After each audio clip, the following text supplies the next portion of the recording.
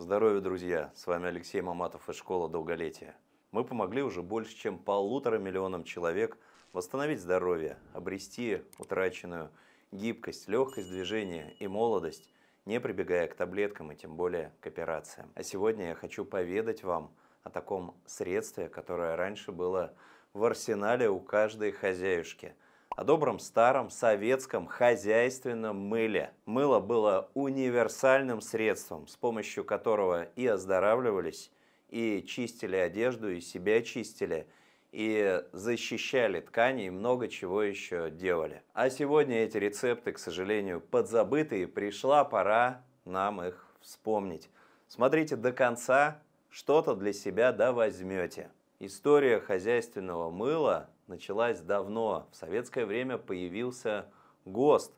И этот советский ГОСТ сохранился и до наших дней. Цифры, которые можно встретить на брусках с мылом, 65, 66 и так далее до 72 обозначают содержание жирных кислот в этом мыле. Чем число выше, тем мыло будет ценнее, тем оно будет активнее. Мыло отстирывает пятна от соков, от соусов, а, биологические жидкости, кровь.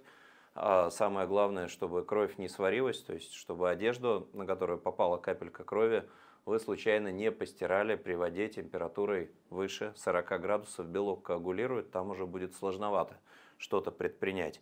Просто нанесли на мокрую ткань мыла, положили в холодную водичку, Дали полежать пару часиков и хорошенечко пошоркали, прополоскали, либо в машинке на автоматическом режиме. Все. Главное, о чем мне хочется вам сегодня рассказать, это не избавление от пятен, а применение мыла для оздоровления.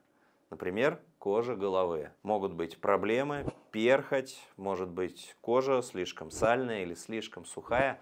Грамотное и правильное использование хозяйственного мыла – позволяет отрегулировать сальность головы, позволяет избавиться от шелушения кожи, от перхоти, а неграмотное, к сожалению, усиливает эти симптомы.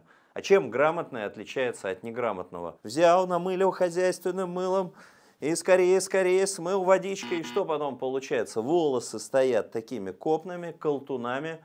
Если была перхоть, сыпется со страшной силой, человек все проклинает – если кожа была сухая, стала еще суше, была сальная, стала еще более сальная. Не так нужно действовать. Моя бабуля, Царствие Небесное, говорила, что нужно вначале помыть обычной шампунькой, любой. Ополоснули голову, потом мыльце, хозяйственное, оставили на пару минуточек, смыли.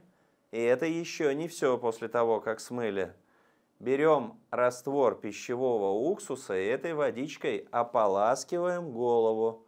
И тоже даем побыть волосиком в таком вот в мокром состоянии какое-то время. Феном желательно не пользоваться, либо, если длинная прическа, полотенце на голову, либо желательно просто промокнуть и дать волосикам обсохнуть естественным образом, тогда будет полный эффект. Сальность регулируется, приходит в норму а перхоть уходит после нескольких применений. Также хозяйственное мыло прекрасно показало себя при борьбе с грибками, с мозолями, с натоптышами. Бывает такая проблема, кожа начинает сохнуть, трескаться. Обязательно посмотрите, с какой стороны это происходит. Если больше трескается кожа с наружной стороны стопы, значит есть какие-то проблемы с позвоночником. Как с помощью мыла воздействовать на кожу стоп. Глубокие трещины, мозоли, вот те вещи, которые предлагается простым людям убирать в косметических салонах. Пришел, что-то тебе там сделали, дай бог, не травмировали кожу. Вроде бы вот кожа нежная, как у младенца, высидел, вытерпел, ходишь, наслаждаешься. Через неделю глядь, а мозоли-то начинают расти – а через две недели еще больше становится. Почему так происходит? Потому что в косметологии при вот этих вот абразивных пилингах травмируют нормальный ростковый слой. Обдирают не только мозольку, мертвое, но и задевают живое. И организм, чтобы защититься от такого зла, начинает сам усиленно наращивать защиту. Роговой слой, мозоли. С мылом все иначе. Взяли, потерли на терочке. Можно просто не заморачиваться даже с терочками, с водяными банями, друзья. Давайте проще, по-простому. Вот чтобы сразу взяли брусок, потерли о стопу, все равно она жесткая, все равно мозолистая, она сама по себе как терка. И смачиваем водичкой и трем, смачиваем и трем. 10-15 минут полежали, мыло смыли, можно немножечко аккуратненько пошоркать пемзочкой, терочкой, чтобы убрать то, что будет очень легко отходить. Вы даже ноготками легко уберете этот слой. Можно еще взять, потереть немножко мыла, добавить чайную ложечку соды и постараться размягчить это все на водяной бане. Будет плохо размягчаться, можно добавить чуточку воды. И вот эту смесь вы наносите на ноги. Либо второй вариант, добавляете водички побольше, стаканчик, можно два, выливаете в тазик с горячей водой и в получившемся растворе просто потерли мыло, потерли прямо на терке, сколько не жалко, добавили чайную ложку соды и а, постарались залить кипятком, потом в горячую воду, в тазик. Все, опустили ноги, посидели 10-15 минут, ножки поскрабили.